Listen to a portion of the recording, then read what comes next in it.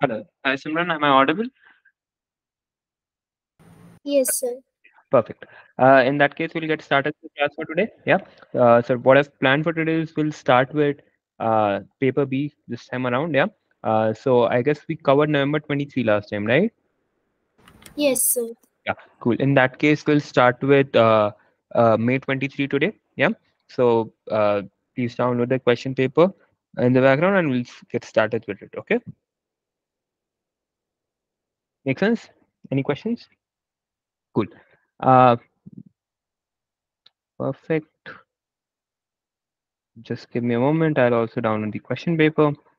Um, any questions from the last class? I think we've done number 23 paper A and B. So we've completed both of them. Uh, any questions that you have from the previous class? Any particular thing that you found difficult to understand anything? No, sir. No? Cool. In that case, have you downloaded the question paper? Yes, sir. Yeah. Yukmesh, if you can hear me, uh, we are on um, May 2023. So we are like looking at question papers right now. Um, so we've started from the most recent of the papers. So we started with November 23 last uh, weekends. We are looking at May 23 this weekend. Uh, we'll start with paper B today and we'll try to get done with both A and B by tomorrow. Yeah. Does it make sense? Any questions? It's March 2023 or it's May 2024? May 23. Sir, it, as in AIQ forum, it's March 2023. Uh, do one thing. uh, Yeah, it should be May 23. So just download that March 2023 one.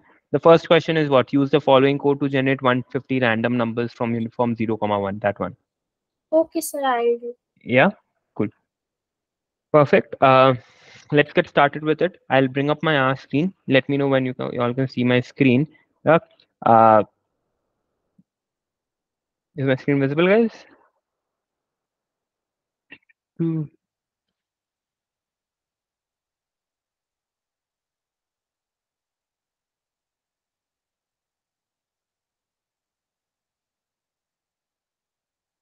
Just a second. I think some issue with my screen. Give me a moment.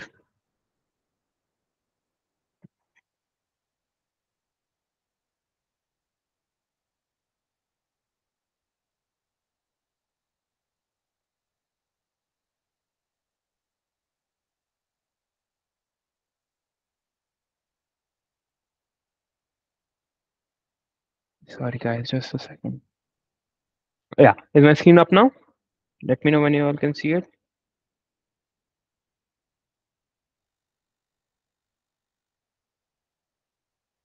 I've shared this. Let me know when you can see it. Yes, sir. Now we can Yeah. see it. Now we can see it. Perfect. Cool. Let's start with May 2023. Question number one. What do we what do we what are they saying here?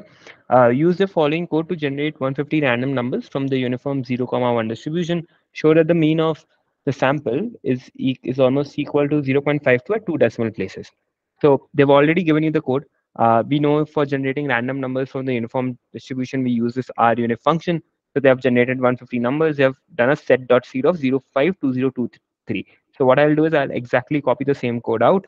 Uh, however, that's not the only thing that we need to do. What do we need to do? We need to find out the mean of u and show that to two decimal places, it's almost equal to 0.52. Because they have said round it off to two decimal places and show it, what we'll do here is round mean of u comma 2, right? So we'll show this that this is equal to 2. We'll provide a comment that the sample mean of the generated sample is equal is equal to 0.52 to two decimal places, right? Uh, now this was part one, quite simple. Now part two is where they're saying using the random numbers generated in part one, simulate sample with sample size 150 from chi-square distribution with two degrees of freedom. No need to print the sample. Now what are they saying? Dekho, this is almost the same as your uh, what do you say the uh, Monte Carlo simulations, right? आप अपने जब याद करो जब अपने Monte Carlo simulations करते थे तो यूनिफॉर्म डिस्ट्रीब्यूशन से क्या आप सिमुलेट करते थे बताओ in terms of notation small F X capital F X क्या आप सिमुलेट करते थे? बताइए। कैपिटल एफ़ एक्स करेक्ट तो अब आपको यहाँ पे क्या मिल गया? कैपिटल एफ़ ऑफ़ एक्स मिल गया है ना? अब आपको क्योंकि आपने आर यूनिफ करके यू निकाला है ना? Which is capital F X की वैल्यूज़ अब आप उन कैपिटल एफ़ एक्स को यूज़ करके आप एक्स की वैल्यूज़ निकाल सकते हो? निकाल सकते हो ना? आपके पास कैपिटल एफ़ एक्स है या सी डी एफ़ की वैल्यू है। That is probability of capital X less than equal to small X की वैल्यूज़ हैं। आप उनको यूज़ करके स्मॉल एक्स की वैल्यूज़ निकालनी है ठीक है?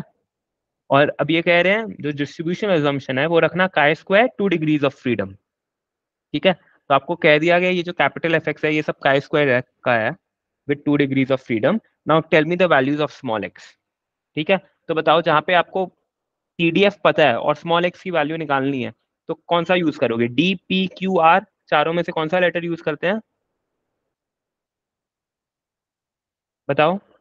When I know probability of capital X less than equal to small x and I want to find small x now, then what function do? चार लेटर वाले होते हैं ना एक होता है D, एक होता है P, एक होता है Q, एक होता है R, है ना? तो इन चारों में से कौन सा यूज़ करते हो बताइए?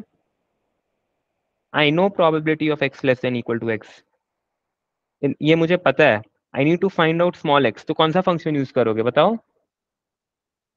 Q exactly so I use in for this case I use Q chi square right because इन्होंने कह दिया है कि क्यू काय आपका जो डिस्ट्रीब्यूशन एजम्पन है that is chi square with two degrees of freedom so I use Q chi square right मेरी probabilities क्या होंगी? जो लेटर यू जो ऑब्जेक्ट यू है, उसमें सारे कैपिटल इफ़ेक्ट स्टोर्ड है so that is my the first argument in Q chi square the second argument is degrees of freedom इन्होंने क्वेश्चन में कह दिया two degrees of freedom that's all I need to do I make sure that I am storing them somewhere so that they can be called if they want to perform some exercise something on them right no need to print the sample store the sample right तो चलो x under स्को का square ठीक है?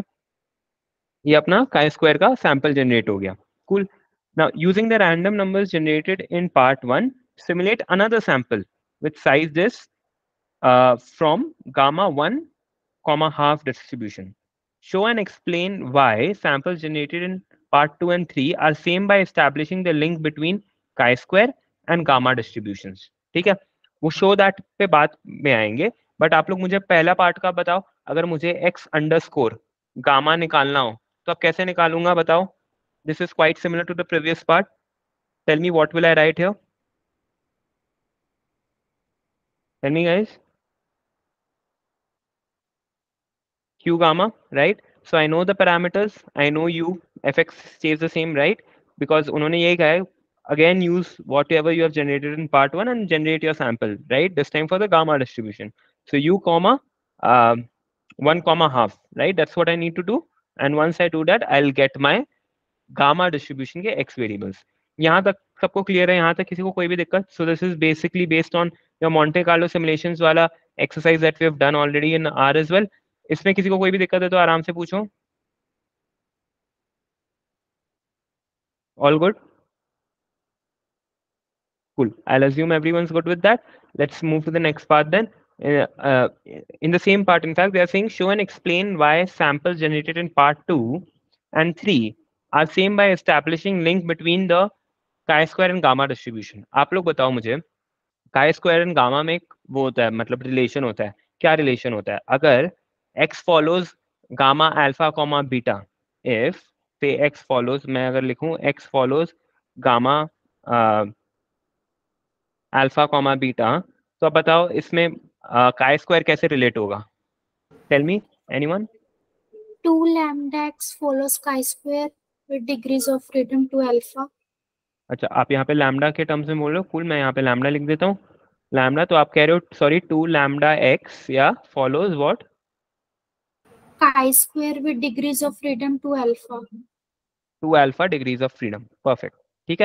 तो अच्छा अब यहाँ पे क्या है? यहाँ पे अपना अल्फ़ा क्या है? Alpha equals one right lambda equals what zero point five yes और नो है ना? तो यहाँ पे क्या हुआ? यहाँ पे व्हाट फॉलोज व्हाट अगर टू लैम्डा करूँ तो क्या आएगा? एक्स है ना? Follows chi square what tell me chi square 2 alpha degrees of freedom right? 2 alpha क्या हुआ? 2 with two degrees of freedom, right? So it is the same thing. Yes or no? आप ये इनवेरियंस प्रॉपर्टी से भी बता सकते हो है ना? कि it will have the same मतलब दोनों सेम है। और आप दिखाओगे कैसे? बताओ। How will you show that कि ये दोनों जो एक्स के सैंपल्स है, दोनों सेम है। How will you show that tell me बताइए। हिसाब से मेरे जो ये एक्स की वैल्यूज़ है यहाँ पे और ये दूसरी वाली जो एक्स की वैल्यूज़ आई वो दोनों एग्जैक्टली exactly सेम होनी चाहिए ना? तो अगर मुझे ये दिखाना है कि दोनों एग्जैक्टली exactly सेम है तो मैं कैसे दिखाऊँगा? मैं क्या करूँगा? एक्स का स्क्वायर दोनों को सब्ट्रैक्ट कर दूँगा। X का स्क्वायर माइनस एक्स गामा ठीक है? देखो सब ज़ीरो आ रहे हैं, मैं सारे का सम भी ले लूँगा, तब भी ज़ीरो आएगा which shows that all my X का values are exactly the same Does this make sense to everyone? Any questions? Tell me. तो आप अपने, पहले गामा का एक्स जो निकालोगे आप दिखाओगे कि काय स्क्वायर और गामा के बीच में कोई डिफरेंस नहीं है। Plus we write that property that if x follows gamma alpha comma lambda 2 lambda x follows chi square with 2 alpha degrees of freedom and hence अपने केस में alpha is this gamma is this hence x follows uh, chi square uh, chi square with 2 degrees of freedom tell me is this clear to everyone tell me any questions any doubts all good cool if this is clear let's move to the next part in part 4 they're saying plot a histogram of the sample generated in part two part two में किसका किया था? का square का किया था। And comment on the shape of the distribution compute mean and medium on the sample and explain why mean is greater than the medium चलो, यहाँ पे थोड़ा स्क्यूनेस रिलेटेड लग रहा है, करने की कोशिश करते हैं। सबसे पहले तो अपने को क्या करना है? एक हिस्टोग्राम प्लॉट करना है। याद रखना, इन्होंने कुछ कहा है क्या? काय स्क्वायर है तो काय स्क्वायर कंटिन्यूस है। तो यूजुअली कंटिन्यूस वेरिएबल्स में अपने ब्रेक्स वाला यूज़ नहीं करते हैं हिस्टोग्राम में। तो अपने क्या करेंगे? Directly hist of X underscore chi square जिस भी चीज़ का हिस्टोग्राम बना रहे हैं, बस उस सैंपल का नाम लिख दो, अपना काम हो गया। राइट और थोड़ा सा एक्स लैब वाई लैब कर लेंगे। X lab equals what simulated values of X y lab equals frequency is quite cool, so we don't need to really change that and यहाँ पे क्या लिख सकते हैं? Histogram of chi square uh, distribution sample values ठीक है you can write that and you have a histogram ready ठीक है कैसा शेप दिख रहा है इस हिस्टोग्राम को अगर देख के बत, uh, पूछे कि क्या शेप है कैसा शेप है क्या बोलोगे बताओ positively skewed right it's positively skewed right तो पार्ट ए में प्लॉट हिस्टोग्राम किया कमेंट द शेप में बोला तो बोल, आप कह देंगे कि पॉजिटिवली स्क्यूड है। एक एक चीज़ हमेशा याद रखना ग्राफ में मार्क्स आपको हो सकता है ज़्यादा लगे, ज़्यादा दिए गए हैं तो क्योंकि मार्क्स इसलिए ज़्यादा होते हैं, क्योंकि हर चीज़ के लिए मार्क्स होते हैं यहाँ पे। हेडर के लिए Y lab X lab intuitive होने के लिए ग्राफ को वापस कॉपी करना है अपने वर्ड फ़ाइल में अगर ग्राफ में मल्टीपल कलर्ड लाइंस है, यहाँ पे तो एक ही अगर मल्टीपल कलर्ड लाइंस है तो या तो ग्राफ के नीचे लिखना है कि red line stand for this blue line stand for this या फिर लेजेंड बनाना है, ठीक है? तो ग्राफ को हमेशा स्कोरिंग होता है, क्योंकि ज़्यादा मार्क्स होते हैं बट ज़्यादा मार्क्स होते हैं तो हर चीज़ भी करनी पड़ती है okay so just make sure you are doing all those things right अब कह रहा है compute mean and median of the sample and explain why mean is greater than the let's have a look चलो mean of sample करते हैं mean of X chi square and median of X chi square let's see कि mean ज़्यादा है दिख रहा है mean ज़्यादा है मीडियन से बताओ एक्सप्लेन करो क्यों मीन मीडियन से ज़्यादा है because positively skewed exactly because our chi-square distribution is positively skewed and in a positively skewed distribution we'll see mean is greater than median ठीक है चलो ये भी समझ में आ गया पार्ट फाइव पे आते हैं पार्ट फाइव क्या है simulated simulate thousand values of sum अब हज़ार वैल्यूज़ करना है सम के सिमुलेट जो क्या होगा, किसका सम सैंपल्स ऑफ़ 150 साइज़ का square distribution with two degrees of freedom store the value of the sum of samples also make sure to set dot seed again before generating the samples no need to print the data तब क्या करना है? आपको हज़ार बार, क्या करना है? हज़ार बार आपको का स्क्वायर डिस्ट्रीब्यूशन का पहले तो 150 सैंपल साइज़ का सिमुलेशन निकालना है। हर बार उस डेढ़ सौ वैल्यूज़ जो सिमुलेट किए हैं, उसका सम निकालना है और इस सम को कहीं स्टोर करते रहना है। ठीक है? ऐसे करके हमारे पास क्या आएगा? हमारे पास thousand sums of chi square distribution होगा। राइट ये जो समेशन एक्सआई आपको मिलेगा, आप क्या एक्सपेक्ट करते हो? क्या फॉलो करें? बताओ। What do you expect the summation exercise to follow tell me we've done this in theory बताओ बताइए याद करो x1 x2 x3 dot dot dot xn iids of a particular random variable right and then if i do summation xi then what does it follow summation xi x bar सबके लिए करते थे ना exactly so clt याद है central limit theorem जो mean statistics के लिए होता था summation X in X bar यहाँ पे एक्सपेक्ट करो कि कुछ सी जैसा कुछ पूछ सकते हैं यहाँ पे, ठीक है? तो because now we are doing these papers we are getting into the habit of solving these papers आपको क्वेश्चन पढ़ के थोड़ा आइडिया लगने लग जाएगा कि किस तरफ़ क्वेश्चन आने वाला है आगे का, है ना? So keep yourself mentally prepare for that and also it also helps you to solve things in a way such that अगर कोई ऑब्जेक्ट स्टोर करना है करना है, कैसे स्टोर करना है, वो सब आप करते रहो साइमल्टेनियसली इवन इफ़ क्वेश्चन में नहीं कहा गया हो। ठीक है? तो चलो पार्ट फाइव करते हैं। सबसे पहले तो अपने एक डमी वेक्टर बना लेते हैं सम वेक्टर के लिए। ठीक है? जहाँ पे अपने हज़ार बार जीरोस रखते हैं बिकॉज़ अपने को हज़ार सम स्टोर करने हैं राइट फिर अपने एक लूप बनाएँगे। For I in one is two thousand because loop तो हज़ार बार रिपीट होगा राइट फिर सैंपल निकलेगा, है ना? सैंपल निकलेगा काय स्क्वायर का कौन सा फ़ंक्शन यूज़ करेंगे? सैंपल जनरेट करने के लिए बताओ। what function do I right r chi square what is the size of the sample every time One thousand. sorry no सोचो वापस देखो क्वेश्चन अच्छे से पढ़ो 150.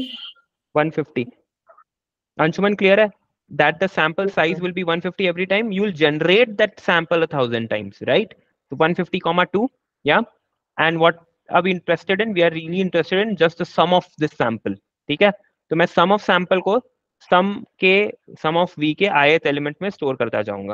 तो सम ऑफ़ सैम अंडर्स को काय right but one thing that I miss your is set dot seed right before the for loop make sure you always running the set dot seed in these things यहाँ पे उन्होंने अच्छे से कह भी दिया तो अपने को पता है किस नंबर पे क्या रन करना है।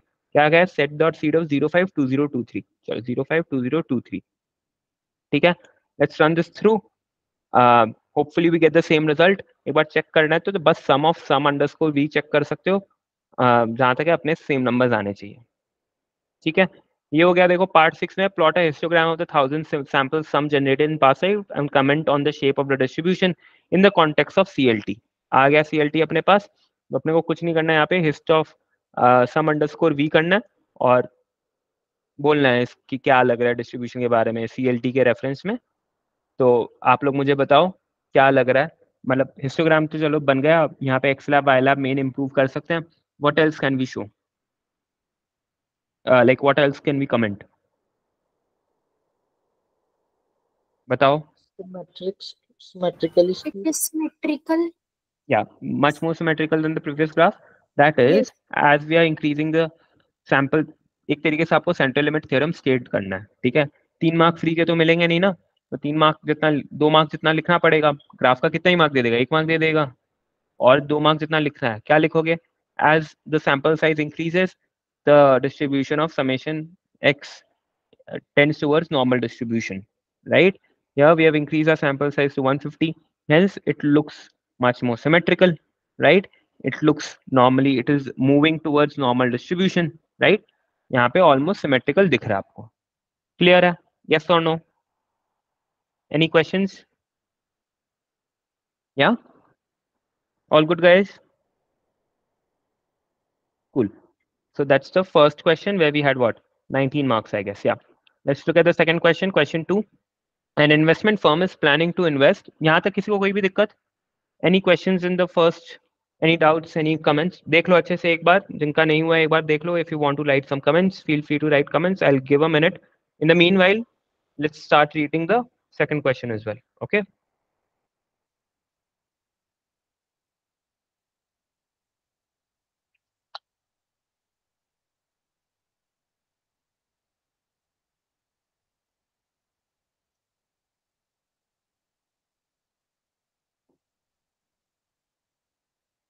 Sorry, cool. If it's all good, let's look at the next question. An investment firm is planning to invest in a new startup GPT. To assess the valuations, the investment firm asks you to study the sales of GPT. Sales data.csv contains sample data of 60 repeat customers having the following information. Unka number of orders made by customers in last month, average order value per order of customers, device used to order, and age of customers. And, and there's one more thing, the location of customers, which is grouped into two segments. Using read.csv, load the sales data and compute sample mean of value तो उन्होंने कहा, जो value वाला है, उसका आप sample mean निकाल के बता दो। तो चलो, सबसे पहले तो इसको इम्पोर्ट करना है राइट right? इसको इम्पोर्ट करने के there multiple ways of importing this the way that I like the most is to use this import data set functionality that we have in R and then copying the code on to uh console मैं दिखा देता हूँ कैसे करते हैं। So that something called I just clear out the environment just a moment Uh, there's something called import dataset from text base. Yeah, यहाँ पे I'll just locate wherever I've downloaded my file. For example, I've downloaded it out here. So sales data यहाँ आ गया.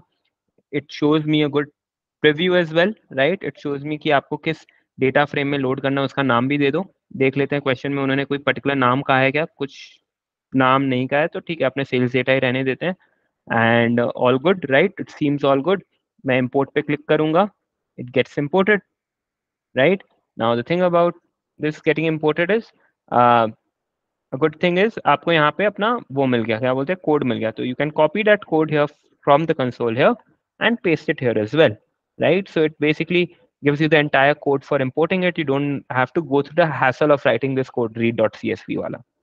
Yeah. So I've imported that. The एक और mark यहाँ पे किस चीज के मिलेगा compute sample mean of value कैसे करोगे सेल्स डेटा डॉलर वैल्यू चलो ये वैल्यू तो आ गया। इसका सैंपल मीन निकालने के लिए कौन सा फ़ंक्शन यूज़ करूँगा बताओ? मीन मीन राइट कंफ्यूज नहीं होना। सिंपल है मीन फ़ंक्शन यूज़ करोगे सैंपल मीन आ जाएगा काम हो गया। ठीक है? यही था अपना पहला। यूजुअली यहाँ पे वैल्यू क्या है? सैंपल अगर वैल्यू लिखा हुआ होता जैसे डॉलर्स के टर्म्स में या मनी रुपीज़ के टर्म्स में तो वो लिख लिखना अच्छा था कि the mean sale per customer is this many rupees ठीक है यहाँ पे कुछ लिखा हुआ नहीं है so we can leave it to this अब क्या लिखा हुआ है? Compute Kendall correlation coefficient between value and city and covariance between value and age हो लेट्स हैव अ लुक कुछ कमेंट वमेंट करने के लिए यहाँ पे कुछ कहा नहीं है बस कोवेरियंस और कोरिलेशन निकालना है। अब कोरिलेशन बाय डिफ़ॉल्ट कौन सा निकलता है बताओ कौन सा निकलता है? बताइए कौन सा फ़ंक्शन यूज़ करते हो कोरिलेशन बाय डिफ़ॉल्ट पियर्सन निकलता है। ठीक है? देखो मेथड यहाँ पे पियर्सन कैंडल्स पीएमएन है पहला पियर्सन है तो पहले पियर्सन निकल जाता है बाय डिफ़ॉल्ट अपने को बट क्या चाहिए? कैंडल चाहिए। तो अपने मेथड इक्वल्स कैंडल कर देंगे। और कॉर एक्स कॉमा वाई में वैल्यू एंड सिटी बट क्योंकि हमने अटैच नहीं किया, या तो आप अटैच कर लो तो आपके लिए ईजी हो जाएगा, या फिर आप डॉलर डॉलर करके निकाल सकते हो। ठीक है? क्या क्या करना था? वैल्यू एंड सिटी तो मैं सेल्स डेटा डॉलर ये सेल्स डेटा डॉलर सिटी करूँगा। और मेथड इक्वल्स कैंडल कर दूँगा, क्योंकि उन्होंने कहा है मेथड कैंडल करो right that will be give me the Kendall correlation coefficient between sales data value and sales data city right value and age के लिए कोवेरियंस निकालना है। कोवेरियंस के लिए क्या फ़ंक्शन होता है बताओ? Tell me guys is the formula for covariance in R कौन सा फ़ंक्शन यूज़ करते हैं? कोरिलेशन के लिए सी आर यूज़ करते हैं। कोवेरियंस के लिए कौन सा फ़ंक्शन यूज़ करते हैं? डायरेक्ट कोवेरियंस कोवैर है क्या? केवल कोव है सी ओ वी ठीक है? ओनली कोव राइट और यहाँ पे कुछ कहा नहीं है कौन सा मेथड तो कौन सा मेथड यूज़ करोगे बाय डिफ़ॉल्ट पियर्सन पियर्सन तो कुछ नहीं देना ठीक है? तो मैं क्या क्या किन दोनों के बीच में निकालना है? वैल्यू एंड एज तो मैं सिंपली ये कॉपी कर लूँगा बस और सिटी की जगह एज लिख दूँगा ठीक है?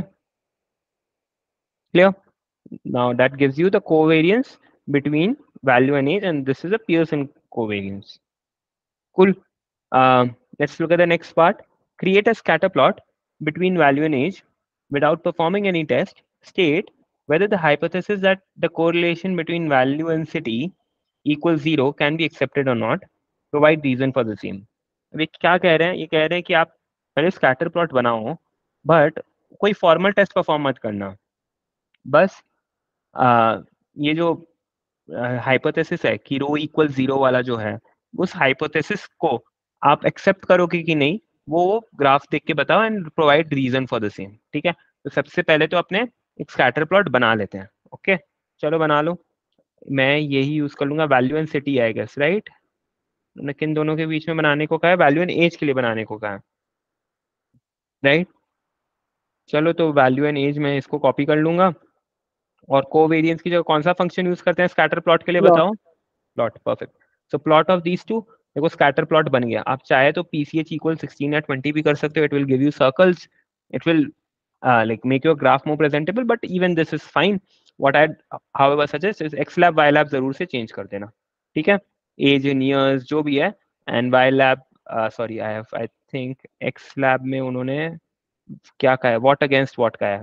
बिटवीन वैल्यू एंड एज का है। तो यूजली हम ऐसे ही बनाएँगे कि value X and age Y ठीक है? ओके तो X lab equals value here या Y lab equals age and main में आप लिख सकते हो कि स्कैटर प्लॉट है okay but make sure your graphs are always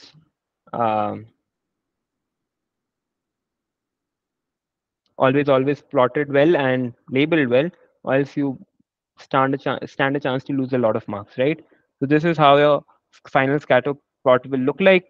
Um, what will you comment on the basis of this? Rho equals zero, yes or no? Rho क्या होता है ये पहले ये बताओ.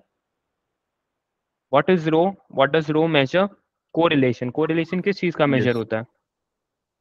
Oh, correlation coefficient between variables. Right. And Yes. what is what is it a measure of? What kind of relationship does it measure? Strength. Linear relationship. Yeah, the strength of linear relationship. दिख रहा है क्या इस graph को देख के scatter plot को देख के कुछ लीनियर रिलेशनशिप जैसा कुछ होगा इन दोनों के बीच में No, sir. no so आप क्या बोल सकते हो there seems to be no linear relationship between the two variables and hence it seems that we will uh, accept the hypothesis that the correlation between value and city equals zero is this clear? For confirmation, we can use the correlation function also, right? you can. You certainly can. But in this question they don't want you to use that. So if you use that they won't give you extra marks for that. But yeah in background for confirming that you can use it. Cool? Chalo. The next part they're saying compute the confidence interval of this correlation coefficient between value and age and test the assertion that this is equal to zero चलो अब कौन सा function में आपको ये confidence interval मिल जाता था बताओ we had a specific function correlation के लिए confident is uh, project for uh, like linear models ठीक है तो confident और ये predict was linear models के लिए confident for uh, parameters of the linear model and uh, predict for the y variables of the linear models primarily यहाँ पे we had a different function जहाँ पे रो का confidence interval निकल जाता था बताओ जिसमें हम rho equal zero rho not equal to zero वाले टेस्ट भी परफॉर्म कर लेते थे what function was it any tell me Sir, Code dot test. Perfect dot test ठीक है तो जहाँ पे हमने वो वाला किया था ना अपने को वैल्यू एट एज के को वाला क्या था ना, वही आप कॉपी कर सकते हो मोस्ट कंफर्टेबली को कॉफ की जगह कॉ डॉट टेस्ट करना ठीक है? Everything else remains the same ठीक है? क्योंकि बाय डिफ़ॉल्ट 95 परसेंट पे ही कॉन्फिडेंस इंटरवल निकलता है ना? तो अपना सारा काम हो जाएगा, बस अपने को इतना करना है दैट को सीओबी की जगह सीओ आर डॉट टेस्ट लिखना है। ठीक है? यहाँ पे देखो, आएगा 95 परसेंट कॉन्फिडेंस इंटरवल उसको अलग से कॉपी करना है। Must write a comment out of it at hence the 95 percent C I is equal to this अब इसके बेसिस पे कैसे H not equals H not of rho equal zero वाला एक्सेप्ट करोगे कम या रिजेक्ट करोगे बताओ आई को देख के कैसे करते हैं Sir, we will accept H not. Why Sir, because this CI range contains the value zero. exactly That's why. exactly so at 95% confidence interval we can um, we have insufficient evidence to reject the null hypothesis hence h naught of rho equals zero because we have the zero in this confidence interval yes or no guys any any doubts any issues tell me all good तो आपको ये समझ में आया as of customer से आपकी values influence नहीं होती है ठीक है क्या किससे इन्फ्लुएंस होती है ये अपने देखते हैं project manager has asked you to fit a multiple linear regression in which m- value is modeled as response and customer details, device, age, and city as explanatory variables. How do, however, due to time constraints, only two models can be tested. So, तो दो ही model आप test कर सकते हो okay अब part four ए में using part three suggest including reasons which explanatory variable should not be included while fitting the regression model अच्छा part three में हमने ऐसा क्या किया जिससे हमें समझ में आया कि इस लीनियर मॉडल में कुछ इंक्लूड होना चाहिए या नहीं इंक्लूड होना चाहिए बताओ।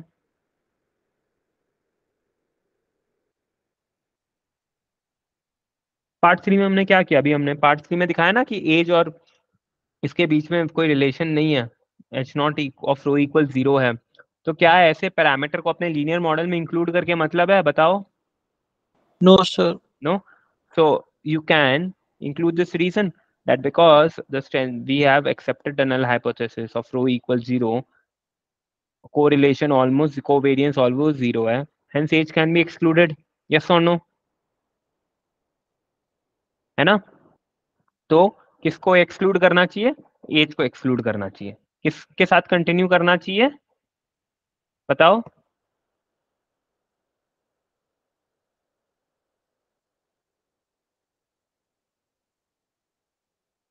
Tell me, guys.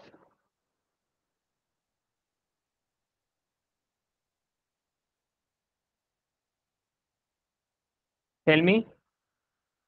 Device और सिटी को इंक्लूड करोगे ना बताओ राइट right? अब ये क्या कह रहे हैं Yes, sir. Exactly exactly. अभी पार्ट बी में क्या कह रहे हैं fit a linear regression model with value as response and customer details as explanatory. तीनों device, age, and city. Comment on the significance of the parameters, including linkage with your suggestion in part 4a ठीक है? अभी कह रहे हैं कि तीनों ले लो, फिर उसके बाद 4b में जो लीनियर मॉडल बने, उसके ऊपर वापस कमेंट करना। तो पार्ट ए हमने लिखा पार्ट बी हम देख रहे हैं अब, क्या है? पार्ट बी में लीनियर मॉडल बनाओ। तो मैं एल एम वन को एल एम फ़ंक्शन यूज़ करके लीनियर मॉडल बनाऊँगा। फॉर्मूला में value is my response right so value squiggle क्या क्या चीज़ ऐड हो रही है? डिवाइस एज एंड सिटी तो device plus age plus city तीनों आ गए, ठीक है? एक आर्गुमेंट और आएगा, बताओ क्या आर्गुमेंट आएगा यहाँ पे? देख के बताइए what argument am I missing here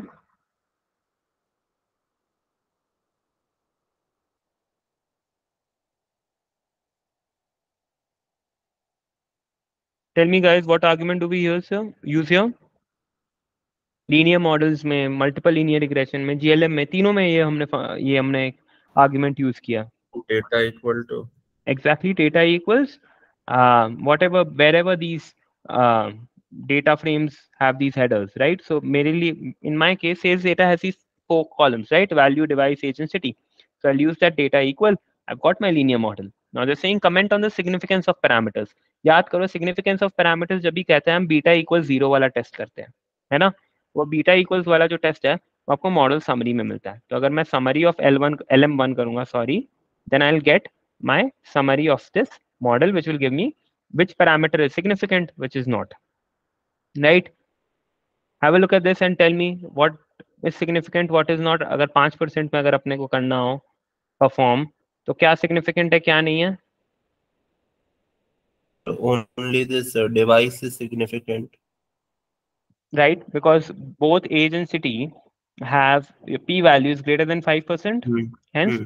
device mobile is the only significant parameter. Yeah. And एक और चीज़ उन्होंने एक और चीज़ कहा था comment on the significance including linkage with your question in part four A ठीक है तो because age is not significant that is a link to part four A ना क्योंकि हमने पार्ट फोर ए में भी कहा था कि एज को इंक्लूड मत करो right yes or no guys tell me Yes, yes sir.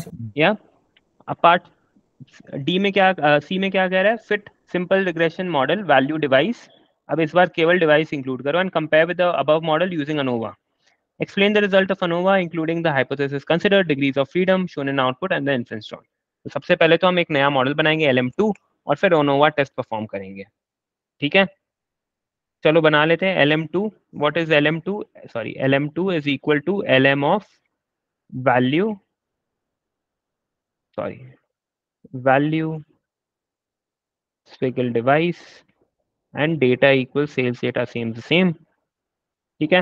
Once I have it, I need to perform an ANOVA test, right? ANOVA के लिए क्या होता था? पहले आप कुछ भी लिखो मतलब पहला कम नंबर ऑफ़ मॉडल ज़्यादा number of models whatever helps just यहाँ पे एक्सेप्ट या रिजेक्ट कैसा होता था? बताओ।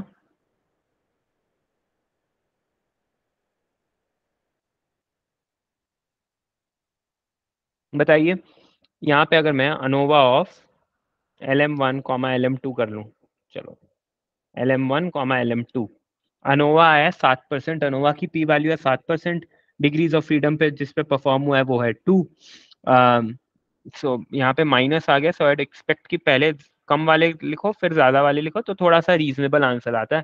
So degrees of freedom to test statistic की वैल्यू आई है two point six six five five this number right p value आई है seven point eight three eight percent तो 7.38 परसेंट पे आप क्या कंक्लूड कर सकते हो बताओ?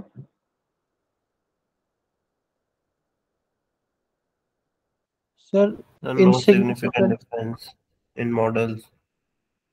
हाँ मतलब सिग्निफिकेंट इम्प्रूवमेंट नहीं है मॉडल्स के बीच में या adding to parameters does not significantly improve your model that's number one you can comment number two जो हमने याद करो थ्योरी में पढ़ा था कि ये वाले अनोवा टेस्ट में जब मल्टीपल लीनियर रिग्रेशन होता है उसमें अनोवा टेस्ट में एक चीज़ हम टेस्ट करते हैं beta one equals beta two equals beta three dot dot dot beta के इक्वल ज़ीरो याद है?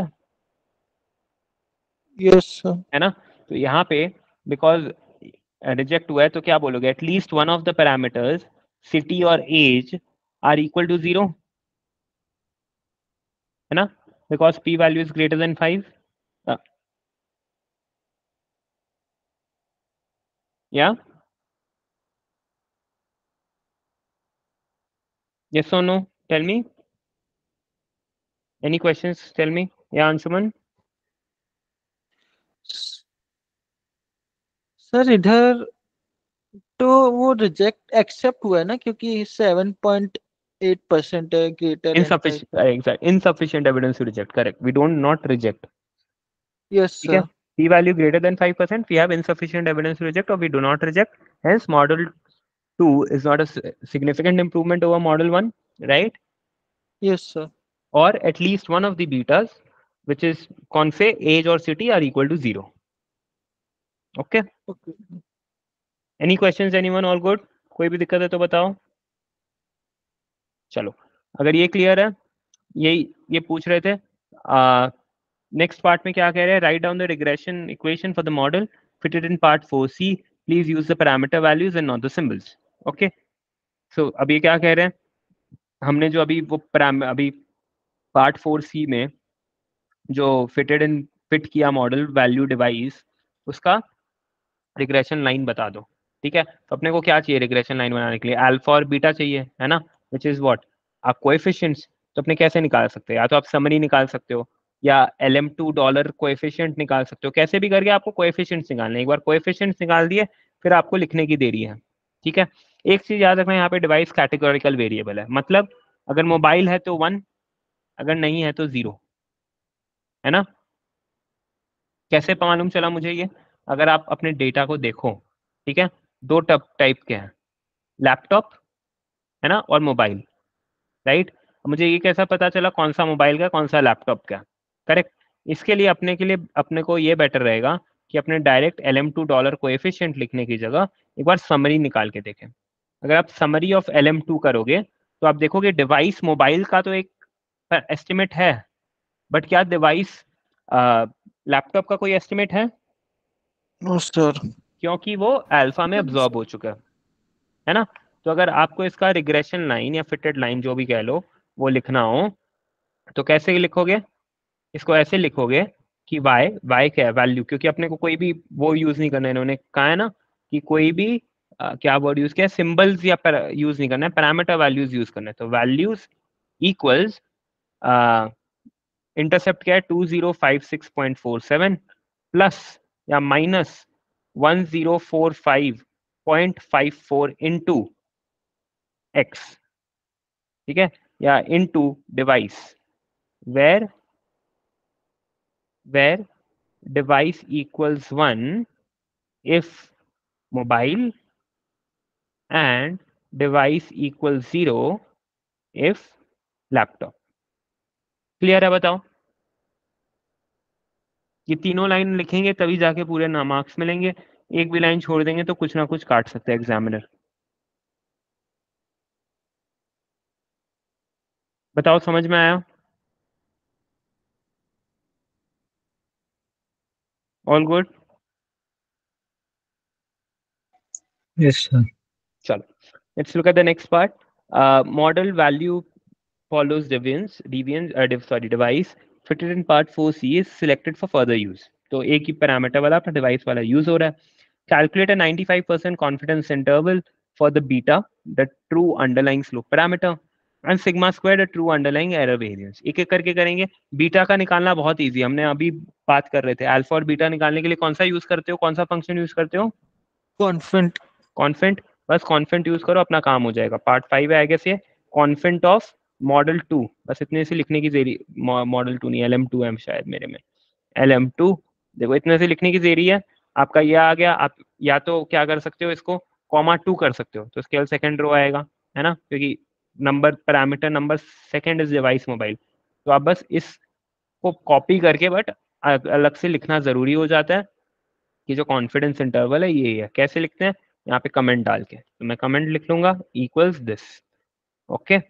कि 95 परसेंट कॉन्फिडेंस इंटरवल ये है। ओके दैट्स पार्ट फाइव का ए सेकेंड है सिग्मा स्क्वायर अब sigma square is something that we have done in the past but आप लोग मुझे बताओ ये कैसे निकालते हैं? हमने एक एक्सरसाइज में किया है यार में। बताओ कैसे निकालोगे?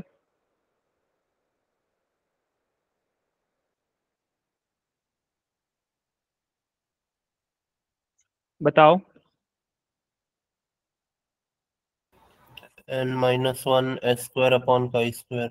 Right n minus one square by sigma square follows chi square right तो वो होता था अपना test statistic n minus one square by sigma square follows but यहाँ पे it will become n minus two why because we have estimated one parameter and Mhm. hence have lost another degree of freedom yes or no Yes, sir.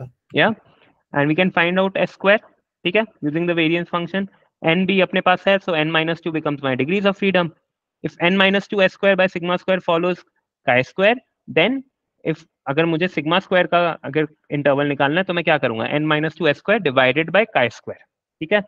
अब वो divide by chi square करने के लिए what function do we use sir chi square dot test chi square dot test नहीं कर पाएँगे ना यहाँ पे क्योंकि का स्क्वायर डॉट टेस्ट है तो याद करो goodness of fit test contingency table test ये सारे टेस्ट परफॉर्म होते थे है ना? Yes Uh, ये वाला test perform exactly will use q chi square because we want to find confidence intervals उसके लिए क्वांटाइल फ़र्स्ट प्रिंसिपल से निकाल के will have to solve it is it clear now अगर नहीं भी क्लियर हुआ है एक बार अच्छे से देखते हैं कोई दिक्कत नहीं है अब समझ में आ जाएगा आप देखेंगे तो। What logic are we using है देखो यहाँ पे ये जो एन माइन एस स्क्वायर और सिग्मा स्क्वायर वाला जो थोड़ा फंडा है ना थोड़ा सा वियर्ड है बिकॉज़ इसके लिए इंडिपेंडेंट फ़ंक्शन नहीं है। ये फ़र्स्ट प्रिंसिपल से अपने को करना पड़ता है। याद करो अपने सैम्पलिंग स्टेटिस्टिक्स में पढ़ा था n minus one into s square divided by sigma square follows chi square n minus one है ना? ये याद है सबको? बताओ। Yes yes sir. अच्छा अब हम मैं क्या बोल रहा हूँ? वहाँ पे तो कोई पैरामीटर एस्टिमेट नहीं करते थे। यहाँ पे देखो अल्फ़ा बीटा यहाँ पे एक और बीटा पैरामीटर एस्टिमेट हुआ है तो मैं यहाँ पे सब एन माइनस वन की जगह एन माइनस टू कर दूँगा because I have lost one more degree of freedom ठीक है? अब अपने एस स्क्वायर निकाल सकते हैं। अपने पास डेटा है तो अपने सैंपल वेरियंस निकाल सकते हैं। अपने को सिग्मा स्क्वायर का ही निकालना है। एन भी मालूम है कितने डेटा पॉइंट्स हैं। तो अपने इस काय स्क्वायर को यहाँ डिनोमिनेटर में लाके और सिग्मा स्क्वायर को न्यूमिनेटर में भेज के सिग्मा स्क्वायर की कॉन्फिडेंस इंटरवल निकाल सकते हैं। बताओ हाँ कि ना? यस सर यस तो दैट्स व्हाट वील डू ठीक है? सबसे पहले एन निकाल लो। एन क्या जितने डेटा पॉइंट्स माइनस टू तो लेंथ ऑफ़ से कहाँ गया अपना? कहाँ पे है सब कुछ? Length of sales data dollar value ठीक है? माइनस टू नहीं माइनस टू नहीं, ये एन है। तो एन को तो ऐसे ही रहने देंगे। देख लेते हैं एन सिक्सटी आ गया एन सिक्सटी आ गया, ठीक है? दूसरा है सिग्मा स्क्वायर एस स्क्वायर ठीक है? सैंपल वेरिएंस तो एस टू में मैं उसको स्टोर कर रहा हूँ। कौन सा फ़ंक्शन यूज़ करोगे, निकालने के लिए बताओ। बार बार वेरिएंस निकाल सकते हैं अपने बार फ़ंक्शन यूज़ करके। तो bar of x which is what sales data में कौन सा? एक्स वैल्यूज़ वैल्यूज़ सोचो। यहाँ पे सोचो ये सिग्मा स्क्वायर क्या है? किस चीज़ का वेरिएंस है? सर डिवाइस क्वेश्चन पढ़ो।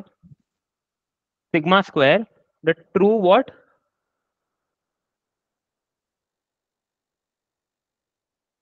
क्या लिख रहा है? The true what variance error variance. Error variance तो मुझे एरर टर्म्स का वेरियंस निकालना होगा। तो वेरिएंस निकालना है वहाँ तक ठीक है। बट मुझे एरर टर्म का वेरियंस निकालना है। और एरर टर्म्स कैसे निकालोगे? Sir y i minus y bar y minus y hat exactly या फिर उतना नहीं करके मॉडल के अंदर अपना सेव्ड होता है। तो मैं L M two dollar residuals कर सकता हूँ। रेसिडुअल्स आ जाएँगे उसका वेरिएंस निकाल लिया। ठीक है? एस टू आ गया एन आ गया। यहाँ तक सही है? यस yes, सर अब देखो अब का स्क्वायर को डिवाइड करना है। क्यू का स्क्वायर करेंगे मतलब क्योंकि अपना क्यू वाला जो है that returns the quantile value of x right तो n minus two in two s two divided by दस क्यू का स्क्वायर ठीक है? Now chi square is not a symmetric thing तो मुझे point zero two five and point nine seven five अलग अलग करना पड़ेगा, है ना? बिकॉज़ दोनों सिमेट्रिकल नहीं है तो एक दूसरे के प्लस माइनस नहीं होते हैं यूजुअली राइट right? तो मैं दोनों करूँगा। पहले जैसे मैंने लिख दिया पॉइंट नाइन सेवन फाइव फिर लिख दिया comma point zero two five right and degrees of freedom again which is n minus two या this should give you the sigma square chi confidence interval. I can copy it. I can provide it in a comment. Tell me, is this clear to everyone? Again, uh, थोड़ा सा tricky होता है sigma square error variance का निकालना क्योंकि there number of moving pieces ना and there things जो आपको ऑलरेडी निकाली हुई है उनको यूज़ करना है फॉर एग्ज़ाम्पल हमने यहाँ पे रेसिडुअल्स को यूज़ किया वाई माइनस वाई हैट भी कर सकते हो बट ये करना थोड़ा ज़्यादा ईजियर है और कुछ नहीं is it clear guys tell me any questions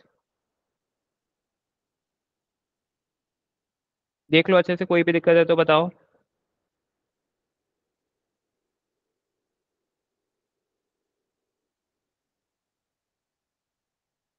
cool. I'll assume everything's fine. Fine moving to the next part कितना पार्ट बाकी है? Six Sorry. इस पर इतना बड़ा कैसे आ रहा है? वन ज़ीरो बड़ा- five eight six seven point one sigma square है ना like it's your sigma square की value it can be as big as possible like already square term है तो आपका जो if you think about it जो uh, क्या कहते हैं आपका हम्म। standard deviation है ये इसका 2 d power 0.5 है केवल which is what only 325 469 तो actual deviation तो केवल इतना ही है ना हम्म तो square deviation है हम्म okay cool Yeah, so Let's these look at- values can be found in the table, right? uh, what table 325 And 469. you are talking about these values Yes, sir. yeah they can be found in the table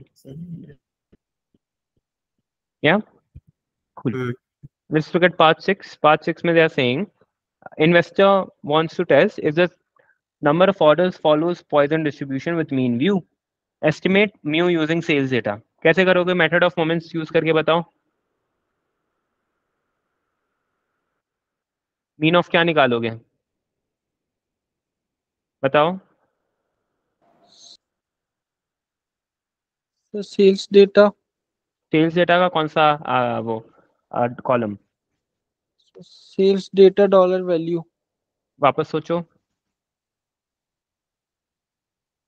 question पढ़ो अच्छे से। देखो ऐसी गलतियाँ नहीं करनी है जहाँ पे अपने को पता है कि मीन निकालना है but we end up finding the mean of the wrong thing ठीक है? तो ऐसे क्वेश्चंस में एक बार मतलब एक बार क्वेश्चन अच्छे से रीड करो। Investor wants to test the number of order follows Poisson distribution with mean mu तो क्वेश्चन में जाके देखो अब कौन सा कॉलम नंबर ऑफ़ ऑर्डर्स दिखाता है। बताओ। Sir we will write order only order exactly है ना? क्योंकि ऑर्डर ही ऑर्डर वाला column shows you number of order तो अपने को न्यू ऐसे मिलेगा। ठीक है? So method of moments estimate for mu is what what 2.8 ये वाला। या clear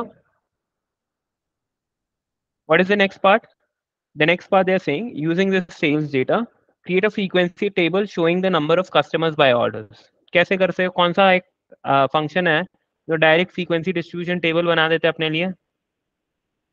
किया हमने पहले बताओ। Sir table function exactly table function क्या करेंगे अपने बस। Table of sales data dollar order आ गया। मतलब अपने को ये पता चल गया zero orders eight times place हुआ है एक ऑर्डर तेरह टाइम प्लेस हुआ है two orders thirteen time place हुआ है ऐसे ऐसे करके राइट यस और no any question so far cool अब देखो क्या लिख रहा है perform of goodness of it test to assess order follows Poisson distribution. You can combine orders equal or more than 5 to ensure actual frequency is at least 5. Also, they have given you uh, some hints. You can use as dot numeric and apply on frequency distributions to store the frequency of customers in a vector. Ensure that total sum of probabilities equals 1. Hint useful function is equal to chi-square test. तो यहाँ पे अपना chi-square test थोड़ा काम आएगा जहाँ पे अपने goodness of fit contingency tables वाला टेस्ट करते हैं राइट अब देखो कैसे करना है तो सबसे पहले तो उन्होंने कहा जो उन्होंने कहा वो कर लो एज डॉट न्यूमेरिक करके जो वेक्टर है वो स्टोर कर लो ये अपना क्या ऑब्जर्व्ड वैल्यूज़ है ना तो मैं इसको देखो ओबीएस अंडर्स को फ्रेक करके लिखूँगा कि ऑब्ज़र्व फ्रीक्वेंसीज है मेरे as dot numeric of table of sales data order ठीक है, सब कुछ। ठीक है? देखो ओबीएस फ्रेक अपना कैसा आ रहा है? अब नंबर्स केवल अट्रैक्ट मतलब अपने निकल गए हैं। ठीक है? अब इसमें क्या कंबाइन करेंगे, अपने बताओ? और क्यों कंबाइन करेंगे? Sir last two frequencies last two frequencies combine करेंगे। रीजन बीइंग अपने को ऐसा चाहिए कि पाँच से कम कुछ ना रहे, है ना? तो लास्ट के दो लास्ट वाला एक है लेस देन फाइव तो अपने को कुछ नया चाहिए। तो अपने, मैं एक ओबीएस फ्रेक टू बनाऊँगा। इस बार कैसे बनाऊँगा, देखो? एक वेक्टर बनाएँगे। सॉरी ओबीएस फ्रेक टू मतलब not index two just two इसमें क्या करेंगे? दो चीज़ लेंगे। ओबीएस फ्रेक के पहले कितने एलिमेंट है जो ऐसे के ऐसे रहेंगे बताओ? एक दो तीन चार पाँच। राइट तो I put one is two five ऐसे का ऐसे। फिर मुझे एक और नंबर चाहिए जिसमें मैं सिक्स एंड सेवेंथ को केवल एडअप करूँगा। ठीक है? तो मैं वही करूँगा। पहले सिक्स एक्सट्रैक्ट करूँगा और ऐड कर लूँगा उसको सेवेंथ वाले में। ठीक है? तो ऐसे करके अपना बन गया ओबीएस फ्रेक पहले पाँच एलिमेंट ऐसे के ऐसे फिर last element six and seventh का प्लस देख लो समझ में आ रहा? है कोई भी दिक्कत है इसमें तो बताओ।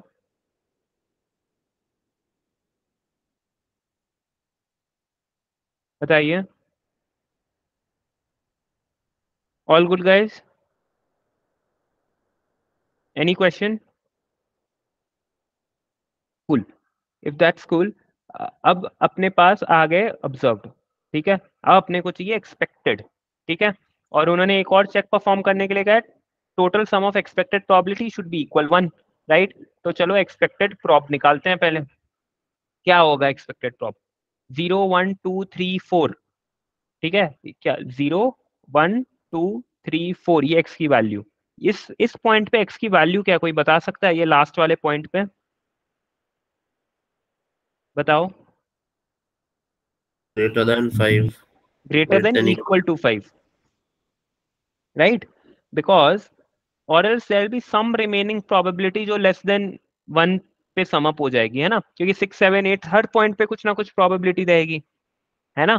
तो अपने ये नहीं चाहते that we end up with even less number of rows right sorry that we end up having total probability to be less than one, right? तो अपने लास्ट नंबर पे क्या कर लेंगे? Greater than equal to five कर लेंगे। तो कैसे करोगे? देखो तो एक, पहले मैं यहाँ नहीं करता हूँ, पहले सोचो, एक है डी पॉइस ठीक है? ज़ीरो इज़ टू फोर जिसमें पहले के पाँच नंबर्स आ रहे हैं, है ना? Eight thirteen thirteen eight twelve के कॉरेस्पॉन्डिंग की प्रोबेबिलिटीज लैमडा हमने ऊपर एस्टिमेट किया था म्यू ठीक है? ये एक हो गया, ठीक है? तीसरा क्या हो सकता है? तीसरा आप वन माइनस दिस कर सकते हो one minus sum of this कर सकते हो, आपका काम हो जाएगा। है ना? या फिर आप पी पॉइस भी यूज़ कर सकते हो। Anything works whatever you think works आप क्या कर सकते हो? P pois of four comma p lower tail false कर सकते हो, है ना? यस और no four comma mu sorry right greater than four calculate हो रहा है सेम चीज़ कैलकुलेट होगा, है ना? Greater than four is equal to greater than equal to five ठीक है? अब इसको एक्सपेक्टेड प्रॉबिलिटी में कैसे लाओगे? एक वेक्टर बना के लाओगे। पहले ये चार नंबर फिर पहले ये पाँच नंबर फिर लास्ट वाला नंबर ठीक है? ऐसे करके अपने छो नंबर्स एक्सपेक्टेड प्रोबेबिलिटी में आ गए, ठीक है? अपने पास एक्सपेक्टेड प्रोबेबिलिटी है ऑब्ज़र्व फ्रीक्वेंसीज है, अपने कौन सा फ़ंक्शन यूज़ करके goodness of fit test perform कर सकते हैं, बताओ? Chi square test. chi square dot test perfect पहले आता है इसमें ऑब्ज़र्व तो मैं ओबीएस फ्रेक टू लिखूँगा ठीक है? देन uh, मैं डायरेक्ट पी लिख सकता हूँ क्योंकि मेरे पास डायरेक्ट प्रोबेबिलिटीज है तो पी इक्वल्स एक्सपेक्टेड प्रोबेबिलिटीज अगर ये एक्सपेक्टेड फ्रीक्वेंसीज या एक्सपेक्टेड रेशियोज होते तो यहाँ पे एक और आर्गुमेंट कौन सा यूज़ करते हैं? Sir can you repeat the question? अगर यहाँ पे पी में जैसे यहाँ पे हमने एक्सपेक्टेड प्रोबेबिलिटीज दे दी ऑल गुड बट यहाँ पे अगर अपने पास एक्सपेक्टेड प्रोबेबिलिटीज नहीं होती फॉर एग्ज़ाम्पल से एक्सपेक्टेड फ्रीक्वेंसीज या एक्सपेक्टेड रेशियोज होते हैं two is two three is two five types तो अपने यहाँ पे एक और आर्ग्यूमेंट यूज़ करते हैं। वो कौन सा आर्ग्यूमेंट होता?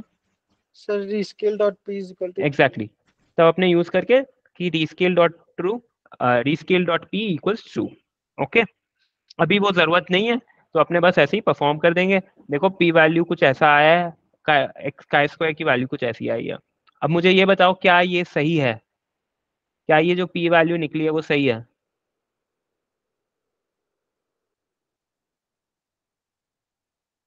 P value that we found out here is that right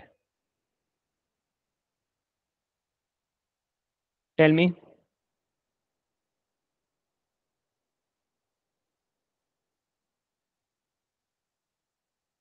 बताओ।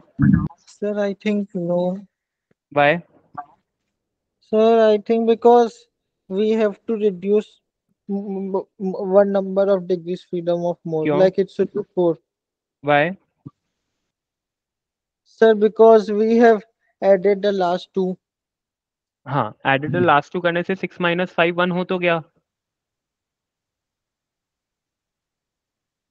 और क्यों करना एक्स मतलब पहले सेवन थे ना हमने सिक्स कर दिया तो सिक्स माइनस वन फाइव हो गया। और एक क्यों कम करने को कह रहे हो आप? No no sir i thought starting it was six. पहले सेवन था। अब सिक्स था दो ऐड करने के बाद फिर फाइव फिर भी एक कम करेंगे। क्यों? क्योंकि हमने यहाँ पे पैरामीटर एस्टिमेट किया है ना। बताओ। याद है for every parameter we estimate we also lose a degree of freedom so we should in fact test this at four degrees of freedom right इन्होंने यहाँ क्या किया? पी का स्क्वायर अब यहाँ से अपने क्या कर सकते हैं? डॉलर टेस्ट स्टेटिस्टिक निकाल सकते हैं ना? चलो टेस्ट को यहाँ पे स्टोर कर लेते हैं। टेस्ट को यहाँ स्टोर कर लिया। टेस्ट डॉलर पर स्टेटिस्टिक करोगे तो टेस्ट स्टेटिस्टिक निकल गया। चलो टी एस मैंने यहाँ टेस्ट स्टेटिस्टिक एक्सट्रैक्ट कर लिया। इन्होंने क्या किया? पी का स्क्वायर ऑफ़ ये test statistic comma degrees of freedom कितने यूज़ किए? फाइव और लोअर टेल फॉल्स क्योंकि ये हमेशा अपर टेल टेस्ट होता है। ऐसे करके निकाल लिया। बट अपने को क्या करना है? एक और डिग्री ऑफ़ फ्रीडम लूज करना है so five minus one and that will give us the right degrees of freedom which is 20% but still greater than 5% hence what hence sufficient or insufficient insufficient huh. insufficient evidence to reject null hypothesis uh, uh, the null hypothesis hence what do you conclude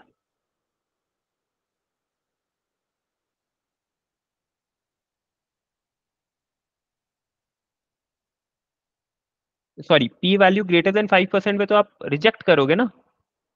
insufficient कैसे sufficient evidence बताओ।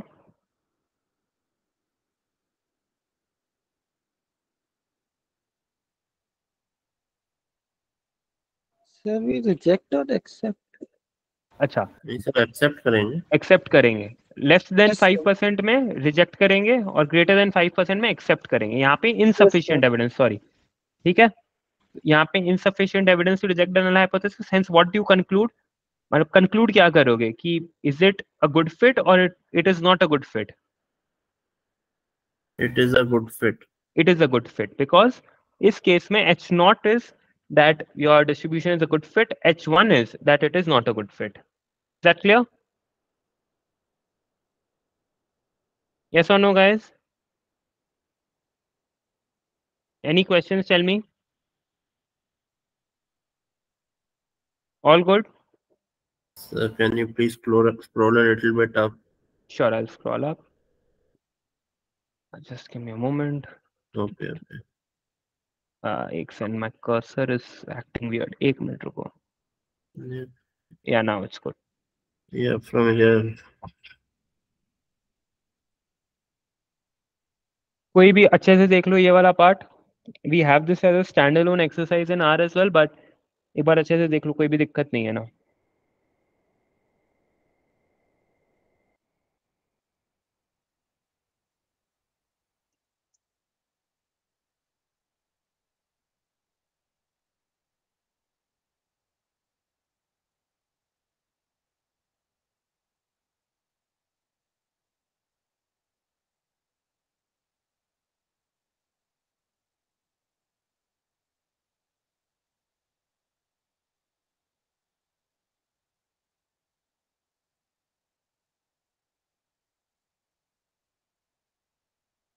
Any questions guys कोई भी दिक्कत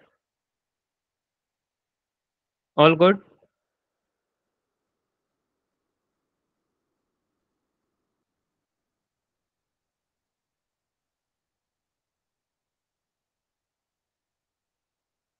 Chalo. If it is all good, let's have a look at the next part of the question. Um, what are they saying in part 7? Assuming the number of orders follow Poisson distribution, fit a Poisson GLM specified as order swiggle device and print its summary.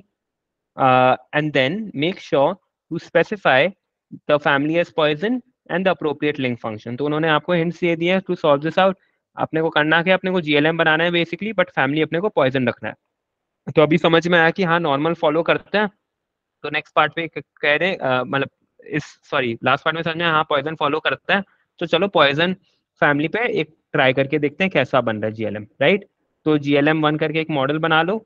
GLM function use करेंगे right same thing order as a order squiggle device right data equals sales data that remains the same एक और यहाँ पे add होगा that is family equals poisson right family equals poisson यहाँ पे आप link equals log लिख भी सकते हो, नहीं भी लिख सकते हो। It's good to write just to like for yourself to know हाँ ठीक है जो अपने link function use कर रहा है वो log link function है ठीक है जैसे ये करोगे आपको यहाँ पे और कुछ एंड प्रिंटेड समरी बोला है तो समरी ऑफ़ GLM वन करके दिखाना ज़रूर है okay is it clear any Uh, questions even if we don't write log link link equal to log, it will. it will still do the same thing yeah yeah it will still do the same thing Mm. okay now they're saying state the link function you have used in the above model and provide reason why it is appropriate for the normal distribution देखो यहाँ पे अब थोड़ा सा intuitive thinking वाला काम है अपना log uh, log function is a link function hence eta equals log of what tell me क्या है लिंक फ़ंक्शन क्या है यहाँ पे लिंक फ़ंक्शन क्या होता है जी ऑफ़ म्यू होता है ना g of mu is equal to what tell me Eta.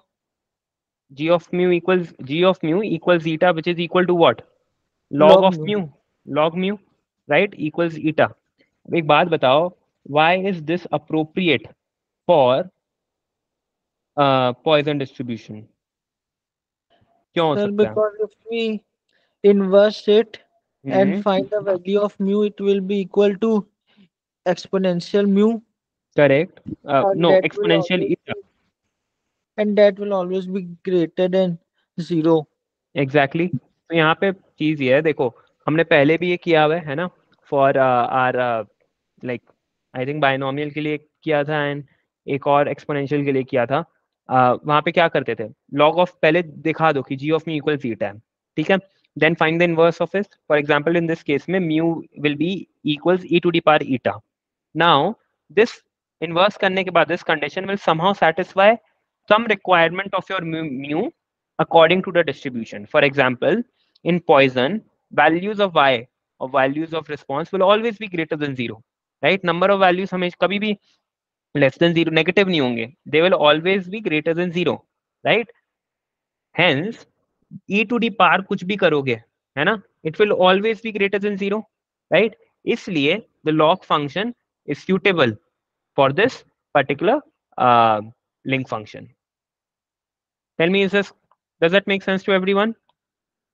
log function लिया इसलिए e to the power ईटा आया e to the power ईटा आया तो हमेशा पॉजिटिव रहेगा जो पॉइजन के लिए ज़रूरी है बताओ हाँ या ना कोई भी दिक्कत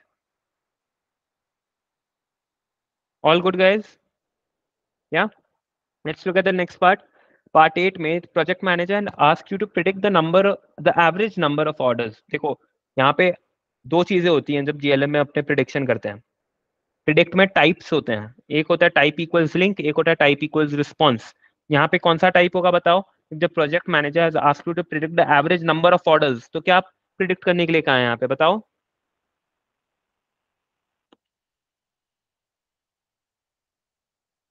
बताइए क्वेश्चन देख के बताओ। Project manager has asked you to predict the average of orders मतलब? Sir, why? वाई मतलब रिस्पॉन्स वेरिएबल है ना?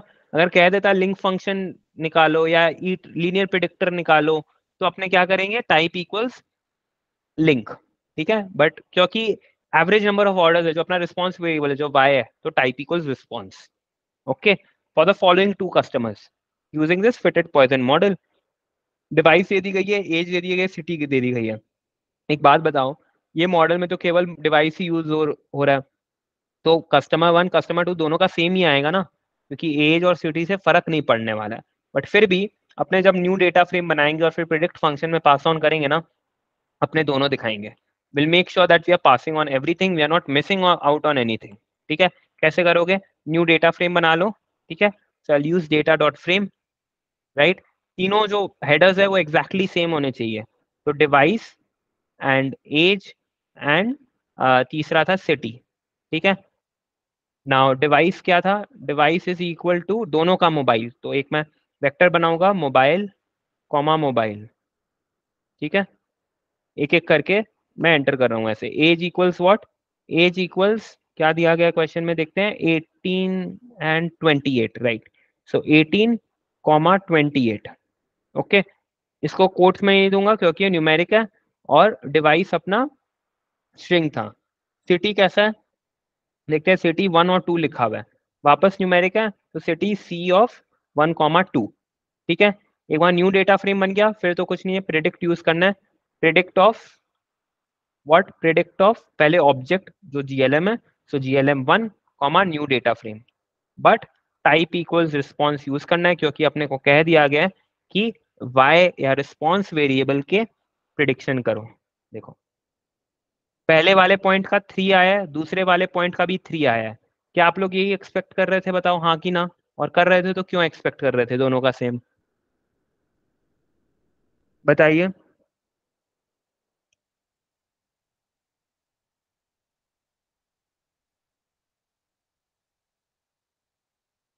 Have a quick look at the answers. Let me know if you actually thought कि दोनों का थ्री आना चाहिए। दोनों का, देखो एज अलग है सिटी डिफरेंट है, फिर भी सेम क्यों आ रहा है? बताओ।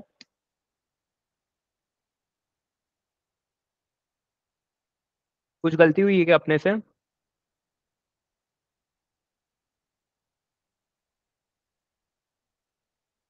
देख के बताओ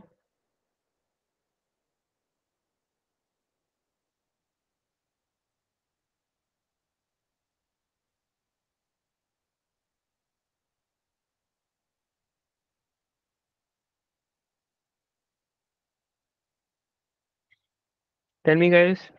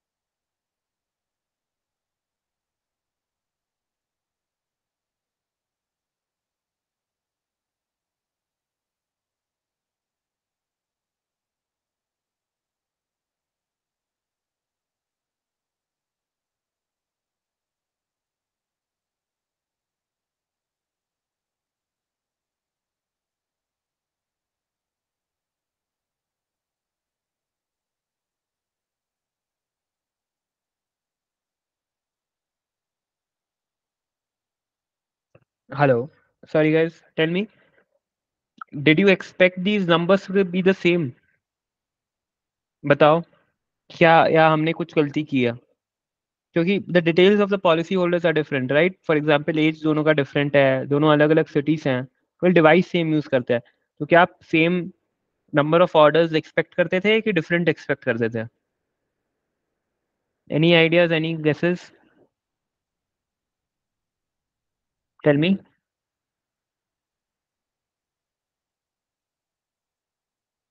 बताओ। देखो, इन्होंने नेक्स्ट पार्ट में भी यही पूछा। After observing the predicted average values of orders for both customers project manager doubts if there is any error in the model क्योंकि दोनों का सेम आ रहा है।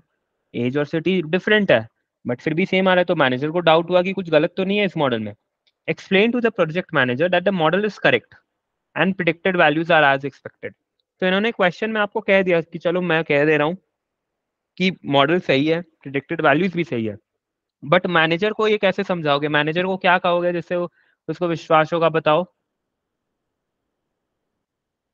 टेल मी गाइस कोई भी, कुछ भी guess anything works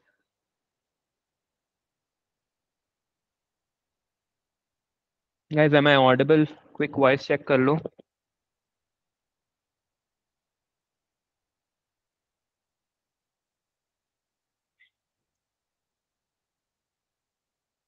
Hello Yes, sir, audible. Audible हूँ ना तो बताओ क्या है? अच्छा एक बात बताओ इस मॉडल में एज और सिटी पैरामीटर भी हैं? Yes, sir. कहाँ पैरामीटर है? इस मॉडल के अंदर तो नहीं है ना? देखो इस जीएलएम वन को। समरी ऑफ़ जीएलएम वन में हमने एज और सिटी को इंक्लूड किया है? Only device and order. Only device and device mobile है है ना? तो कुछ भी एज हो कुछ भी सिटी हो फ़र्क नहीं पड़ेगा। केवल अगर डिवाइस डिफरेंट हुआ तब जाके डिफरेंस आएगा ना। हमारे वाई की वैल्यू में या एक्सपेक्टेशन की वैल्यू में और कोई डिफरेंट नहीं आएगा। हाँ की ना बताओ। है ना? So that will how that is how will explain explain the project manager कि device was the only significant parameter hence that is the only one that is included in a model and because it is same between both the customers hence the predicted value for the number of orders is also the same between the customers is this clear now tell me Yes. कोई भी दिक्कत cool in that case let's look at the last part of this question investment firms wants to close one of the channels या तो laptop या mobile दो थे उसके website application था ऐप एक प्रॉपर एप्लीकेशन था तो सोच रहा है लैपटॉप या मोबाइल दोनों में से एक बंद करूँ? Project manager asks you to provide total number value of these channels ठीक है? टोटल वैल्यू निकालनी है और टोटल वैल्यू का फॉर्मूला दे दिया गया। टोटल वैल्यू का फॉर्मूला क्या है? Average order value into average number of orders ठीक है? तो हर चैनल के लिए अपने ये निकालेंगे। Average order value into average number of orders okay हमने वैल्यू एंड ऑर्डर दोनों फिट कर रखी है। कहाँ कहाँ फिट फिट कर रखी है?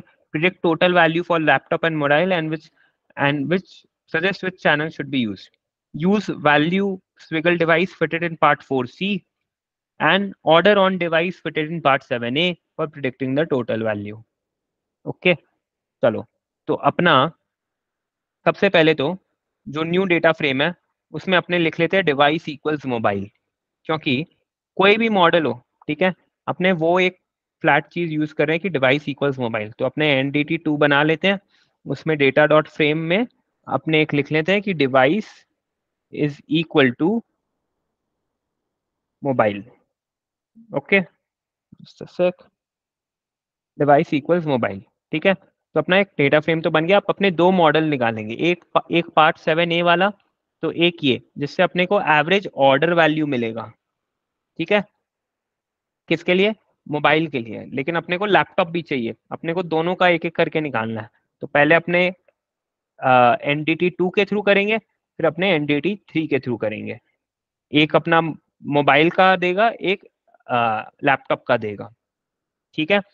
देखो, ये हो गया part seven A G L M one और दूसरा उन्होंने क्या कहा है? पार्ट फोर का सी देखते हैं फोर का सी में कौन सा मॉडल बना था? फोर का सी में हमने बनाया था एल एम टू तो अपने एल एम टू और ये वाला क्या कहना है इस जी एल एम वन इन दोनों के जो आएँगे, उन दोनों को मल्टीप्लाई करेंगे तो टोटल वैल्यू निकल जाएगा, है ना? तो वही करते हैं, चलो प्रिडिक्ट ऑफ़ पहले वहाँ क्या था? L M two right comma N D T two देख लेते हैं, कोई दिक्कत नहीं है ना, आ रहा है। चलो इन टू प्रिडिक्ट ऑफ़ वापस G L M one comma N D T two comma type equals response right यह आ गया टोटल वैल्यू अपने मोबाइल का। ये सबको क्लियर है बताओ, इसमें किसी को कोई भी दिक्कत है तो बताइए। Tell me guys is clear to everyone कैसे हमने टोटल वैल्यू निकाला मोबाइल का? और वैसे ही हम निकालेंगे लैपटॉप का। क्या चेंज होगा? एनडीटी टू की जगह एनडीटी थ्री हो जाएगा और कुछ नहीं होगा। ठीक है? ये जैसे हुआ, देखो टोटल वैल्यू ऑफ़ अपना लैपटॉप निकला। तो total value of mobile is what 3000 something and total value of mobile is 17 1693 तो कौन सा प्रेफर करेंगे जिसका टोटल वैल्यू ज़्यादा होगा तो most probably mobile will be preferred over laptop Tell me guys, is this clear to everyone? Any questions? All good? कोई भी दिक्कत है तो बताओ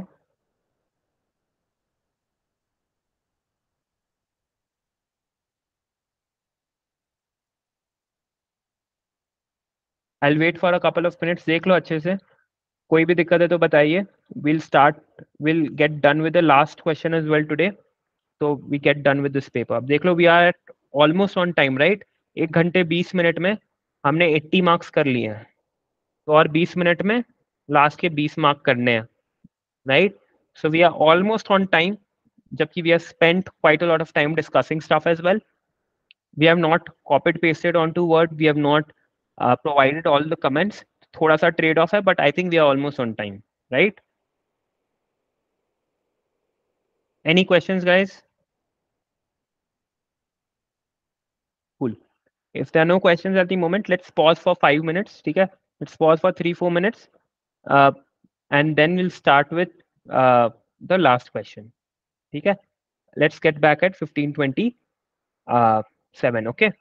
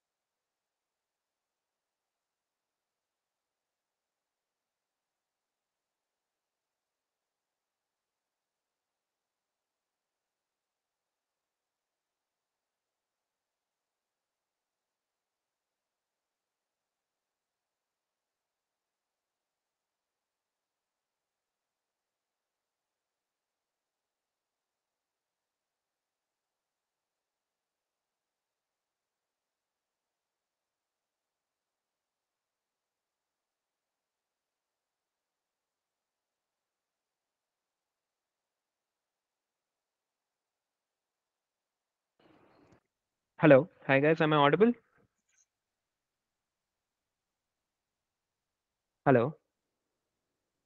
Yeah. Yes, sir. Cool. Perfect. In that case, let's continue with where we left off. Let's continue with exercise uh, like the third question. Uh, total sales per month on a particular cloud kitchen follow a normal distribution with mean theta and variance 2 O square, 2 theta square hoga. Um, no, 20 square. Acha. Uh, so mean is theta and uh, variance is 20 square sales x1 x2 dot dot dot xn are observed over n months okay तो हर month का आपको cells दिया गया in terms of x1 going up till xn prior believes that uh, theta follows normal with mean this and variance 5 square so normal normal model जैसा लग रहा है ना sales for last 5 months are extracted for analysis total sales for last 5 months for 340 so they've given you n equals 5 and summation x भी आपको दे दिया गया now they are saying m theta t denotes the mgf of theta state and compute m dash theta uh, of 0 and m double dash theta of 0 use m1 t 0 for m dash theta 0 and m2 t 0 for m double dash theta 0 कैसे करोगे इसको बताओ बताओ what is m dash theta 0 हम क्या पढ़ते हैं mx m dash x 0 क्या होता है I mean, mean? So it is basically expectation of x yes or no? है ना? इस केस में क्या है वो बताओ? What is your prior expectation? M m theta t क्या हुआ? थीटा का निकालना है ना अपने को? थीटा का एक्सपेक्टेशन निकालना एक्सपेक्टेशन ऑफ़ थीटा तो थीटा का प्रायर एक्सपेक्टेशन क्या था? 60 तो अपना क्या हो जाएगा? द प्रायर मीन और एम वन टी ज़ीरो जो यहाँ पे वो निकालने को कह रहे हैं that will become sixty right because your M dash T zero will be M dash theta zero will be equal to the prior mean which is equal to sixty दिया हुआ आपको। तो बस आपको स्टोर करना है और इसमें कुछ खास करने को है नहीं। So all you have to do is m1 क्या कहा है उन्होंने? M1 t0 is equal to 60 cool. What is m double dash theta 0 ये बताओ।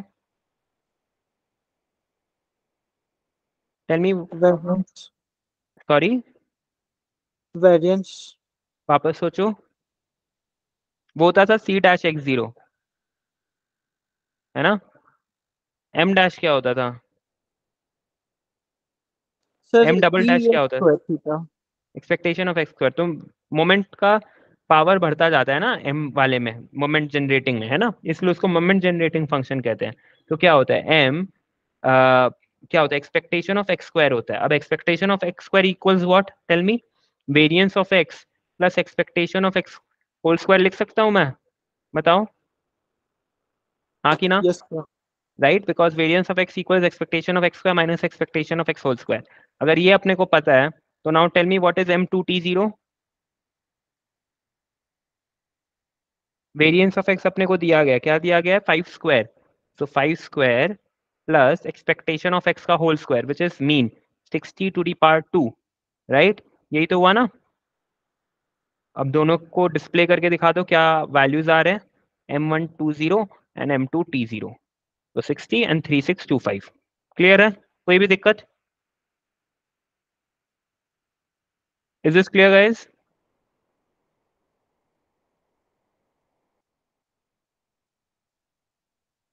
Any questions? Cool. I hope this is clear. Now they are saying state the posterior distribution of theta and compute the parameters of the distribution using the sales of last five months. Uh, so it's basically normal normal model है आप पूरा normal normal model का अपना दिखा दो कि अगर theta follows this आपका random variable follows this then the posterior distribution will be this yeah uh, and posterior distribution ये होगा नॉर्मल नॉर्मल मॉडल में तो आपका पॉस्टीरियर मीन ये होगा, है ना?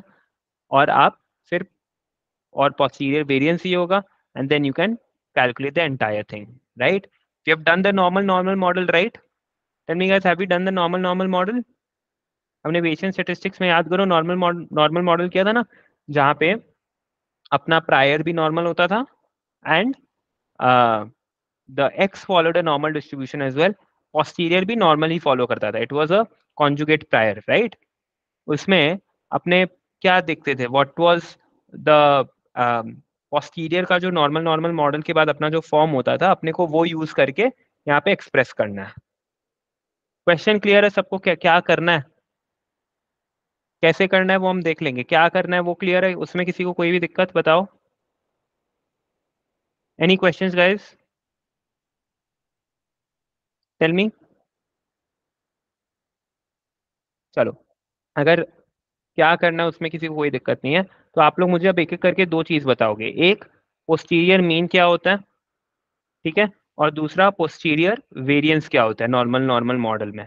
ठीक है? क्योंकि यही दोनों चीज़ है जो आपका नॉर्मल मॉडल का पैरामीटर्स बता देंगी राइट बताओ let's open exercise notebooks let's find out what is the posterior mean of a normal normal model tell me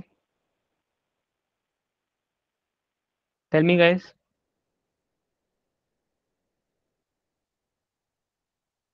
देख के बताओ।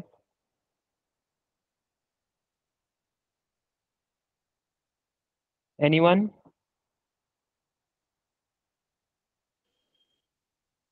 sir N hmm. X bar upon sigma square एक second एक second एक काम करते हैं। सब कुछ स्टोर कर लेते हैं ठीक है? एन इक्वल्स क्या है यहाँ पे? फाइव है राइट एक्स बार क्या है यहाँ पे? कुछ दिया है इन्होंने एक्स बार के बारे में। यहाँ पे एक्स बार के बारे में क्या दिया थ्री फोर्टी बाय फाइव करोगे तो आ जाएगा ना क्योंकि थ्री फोर्टी समेशन एक्स ही आ गया थ्री फोर्टी बाय एन किया तो एक्स बार आ गया राइट और क्या क्या चाहिए? और ठीक है करते करते जाते हैं। सिग्मा आप- सिग्मा स्क्वायर चाहिए क्या? यस सर सिग्मा स्क्वायर आप जब कह रहे हो what do you mean by sigma square prior की पोस्टीरियर सर पोस्टीरियर मतलब लाइकलीहुड है ना? Sir sigma square is known sigma square is known तो लाइकलीहुड वाला सिग्मा स्क्वायर चाहिए आपको कि प्रायर का चाहिए? दोनों का चाहिए ना? यस सर दोनों का सिग्मा स्क्वायर चाहिए। सिग्मा वन स्क्वायर भी होता है सिग्मा टू स्क्वायर भी होता है। ठीक है? Sigma square is for likelihood. है ना? तो दोनों का आपने स्टोर कर लेते हैं। Prior sigma is equal to what? बताओ। Prior sigma is equal to sigma zero square. Sorry? No sir no sir. Prior sigma देखो फाइव लिखा हुआ है ना? Yes sir five square. Prior sigma मैं केवल सिग्मा स्टोर कर रहा हूँ कर रहा हूँ ठीक है? तो मैं अच्छा। केवल ठीक है? और पोस्टीरियर सिग्मा क्या है? ट्वेंटी है ना? यस ठीक है? और एक और चीज़ अपने को तो पता है तो वो भी लिख लेता हूँ मैं prior mean equals what prior mean इन्होंने कुछ दे रखा था मेरे ख्याल से क्या दे रखा था? सिक्सटी राइट तो सारे चीज़ बस अपने हमने अभी स्टोर कर ली है। अब बताओ आपने शुरू किया था एन एक्स बार बोल के। चलो N X bar into what sir N X bar upon sigma square यहाँ पे सिग्मा स्क्वायर किसका सिग्मा कौन सा सिग्मा का स्क्वायर लाइकलीहुड है ना? तो लाइकलीहुड अच्छा यहाँ पे है ना मैंने थोड़ा सा गलत नोटेशन यूज़ किया है। ये पोस्टीरियर सिग्मा नहीं है ना? यहाँ पे क्या होगा? लाइकलीहुड सिग्मा होगा राइट तो यहाँ पे divided by likelihood sigma square right ये आ गया चलो प्लस प्लस हाँ। Mu not upon mu not मतलब prior mean right prior mean divided by sir prior sigma का स्क्वायर स्क्वायर है ना? प्रायर सिग्मा का स्क्वायर ये आ गया। डिवाइडेड बाय ये होल डिवाइडेड बाय ठीक है? अभी Yes, तक जो भी किया उसका होल डिवीज़न होता है राइट होल डिवीज़न बाय अब नीचे क्या होता है? सर एन अपॉन लाइकलीहुड का sigma square hmm. Plus one upon hmm. Prior का sigma square. Perfect one upon prior का सिग्मा स्क्वायर। तो ये आएगा अपना पोस्टीरियर मीन देख लो सब लोग ये आना चाहिए अपना पोस्टीरियर मीन का वैल्यू 61.90 समथिंग कुल अब ऐसे ही करके पोस्टीरियर वेरिएंस भी बता दीजिए। Sir one upon hmm. Whole and right N. Upon prior N upon sigma Likelihood. Square right plus one upon prior Hmm. Sigma square perfect ठीक है? तो ये आ गया अपना पोस्टीरियर वेरिएंस तो अपने आप लिख सकते हो कि mu given x bar follows uh, what? Not normal. 61 comma 90476 comma 19.047 uh, 19 point जो भी आ रही है ठीक है? is this clear to everyone tell me any questions guys देख लो अच्छे से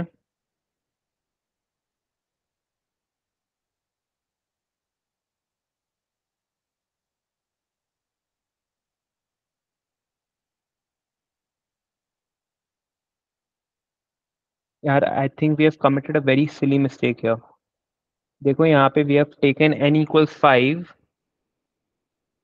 where N equals fifty no N S still equals five sorry I misread it's part two B तो वापस अपने करेंगे but this time will calculate the parameters using N equals fifty and summation of X equals thirty four hundred okay so इनका यही है कि एक बार सैंपल सॉरी तो इनका पार्ट बी में ये दिखाना चाहते हैं क्या दिखाएँगे ये पार्ट बी में? जैसे इन्होंने सैंपल साइज़ बढ़ाया वैसे ही क्या बढ़ जाएगा बताओ? What will happen to your posterior mean? It will move towards the uh, likelihood का mean right? Yes sir. वैसा कुछ ये दिखाने yes. की कोशिश करेंगे ठीक है? चलो पार्ट टू तो ये हो गया पार्ट थ्री अच्छा ये पार्ट टू का भी ए है। अब पार्ट टू का बी में वो करना है कि बस फिफ्टी कर देना है इसको। ठीक है, चलो कर देते हैं। Will paste the entire thing in part B where will have n equals 50 and x bar equals 3400 by n, right? If you want, you can use the same things, right? I would suggest कि जो जो change हुआ है, उसको change कर दो, ठीक है? For example N two X bar of two ठीक है? प्रायर और ये सब तो वही रहेगा right so that there's no confusion कि क्या यूज़ हो रहा है, क्या नहीं यूज़ हो रहा है। जहाँ भी एन टू और एक्स बार यूज़ हो रहा है, उसको एन और एक्स बार यूज़ हो रहा है, उसको एन टू और एक्स बार टू बना दो। ठीक है? उसके बाद देखना आपके कुछ ऐसे आने चाहिए। Prior mean two prior mean two posterior variance two posterior bar 2 and 2 1 prior, yeah, all, that's all. देखो देन कुछ ऐसा आएगा। एक और चीज़ नोटिस करो एक और चीज़ क्या नोटिस हुआ है? आपका पोस्टीरियर का जो वेरियंस है that has fallen down because now you have more credible data to rely on hence you have more confidence, less uncertainty, hence the variance has also fallen, है ना? वेरिएंस कितना था? 19 से 6 पे आ गया yes. Any questions, guys? All good?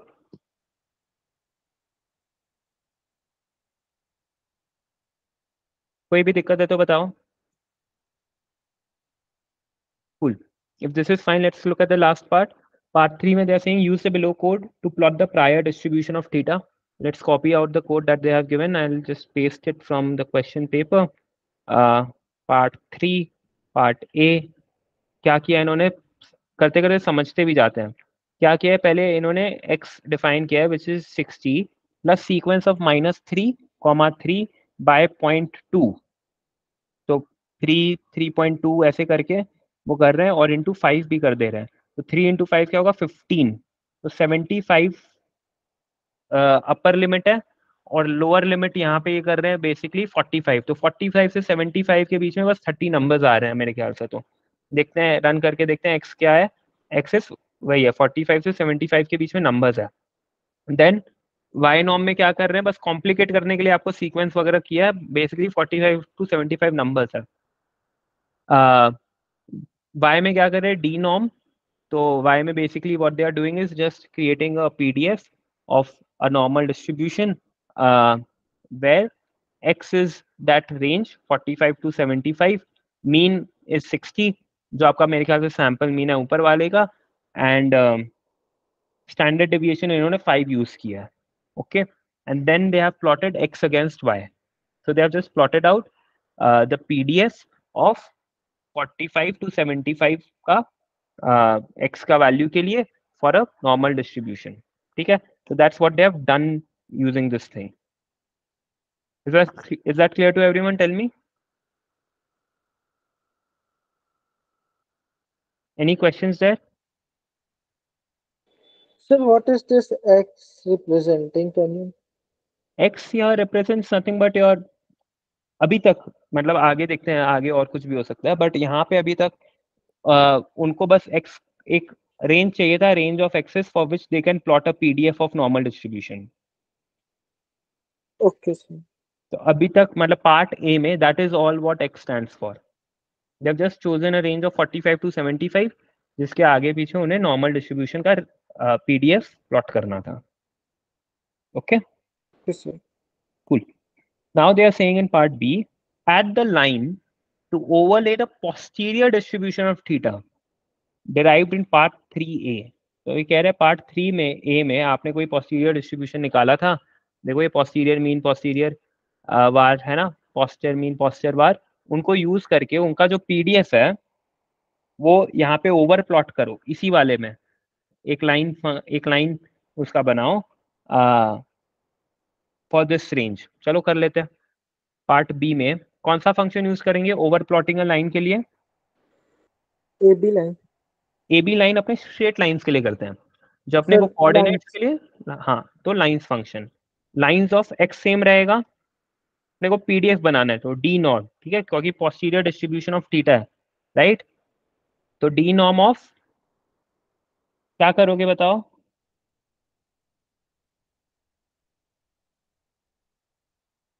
Tell me guys क्या x same रहेगा? एक एक चीज़ देखो यहाँ पे इन्होंने क्या किया है यहाँ पे एक्स के लिए? Can you all tell me यहाँ पे ये लोग 60 से ये यही क्यों कर रहे हैं? Y 60 because mean is equal to 60 and Y 5 because यहाँ पे standard deviation is equal to 5 similarity दिख रही है? Yes Yes, sir. है ना? तो अपने भी यहाँ पे वापस एक्स डिटरमाइन करेंगे। ठीक है? एक्स वन करके कुछ निकालेंगे कि इसके लिए एक्स वन क्या है अपने? तो क्या होगा? अपना पोस्टीरियर वाला जो मीन है वो, क्योंकि यहाँ पे जो मीन था, वही है। तो पोस्टीरियर वाला मीन ठीक है? तो posterior mean plus sequence same right तो sequence of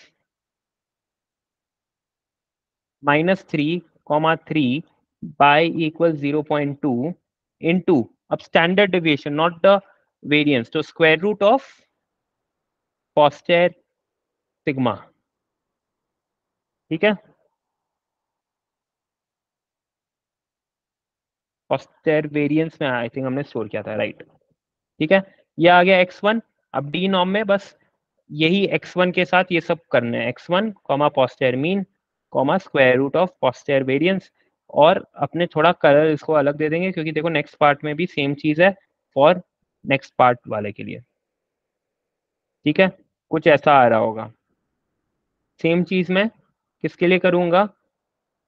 टू वालों के लिए। तो पॉस्टर मीन टू हो जाएगा पॉस्टर वार टू हो जाएगा, नीचे भी टू हो जाएगा एंड मैं कलर चेंज कर दूँगा right so as to have a different color and distinguish between the two lines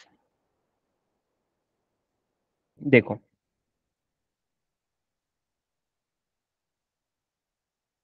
अब अब जब इस कॉन्टेक्स्ट में ये प्लॉट हुआ है तो अब ये समझ में आ रहा है ये पहला प्लॉट क्या था? क्या कोई देख के बता सकते हैं पहला प्लॉट क्या था? क्वेश्चन को एक बार एक बार शुरू शुरू के चार लाइन पढ़ो और बताओ कि ये पहला वाला जो प्लॉट था, ये किस चीज़ का प्लॉट था? बताइए। What was the first plot all about this part A वाला प्लॉट जो अपने स्कैटर्ड प्लॉट की तरह प्लॉटेड है। एनी आइडियाज़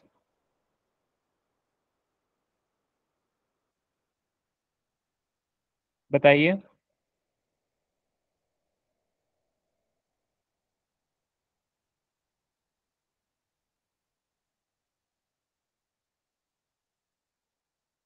बताओ।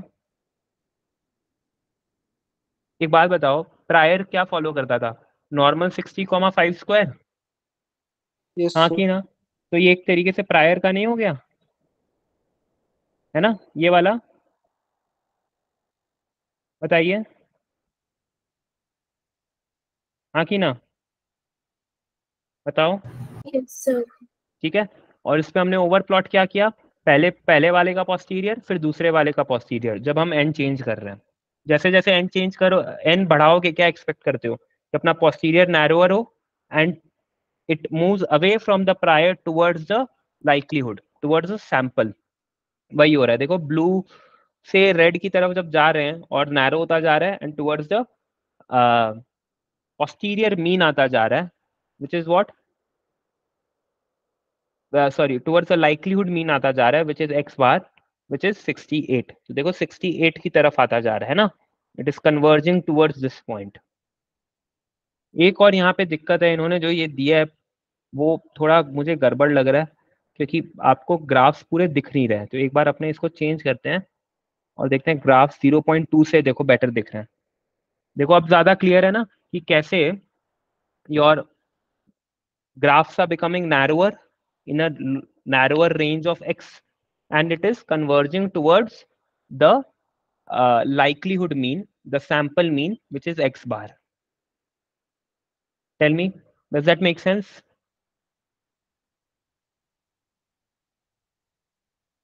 Yes, sir. yeah any questions here